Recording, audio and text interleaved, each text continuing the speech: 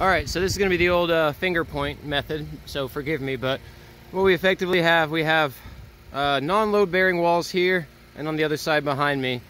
And then this southern long exposure wall here with the three posts is gonna be our load bearing wall.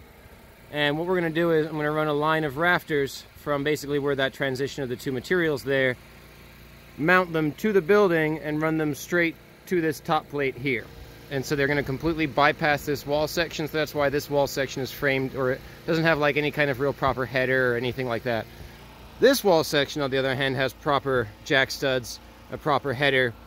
But what's a little weird forgive this this is that post isn't plumb and whatnot so I, need to fix that. But what's interesting what I did here is that this is like a, a semi load bearing because the post as you can see will make up part of the low or the the first top plate the lower top plate and then there's going to be a second top plate that comes across and joins the posts and the the first top plate and everything together. And then between the jack studs with the headers and then the posts that's going to be our comp combined load bearing down and underneath this line I have a full ledger that's going to take the, the, the weight of this. So here's the other window. You can see same thing. There's going to be two windows in this opening excuse me in this wall and uh, yeah they're not framed in anywhere near you know there's no header. I do I'm gonna put a little queen in right here.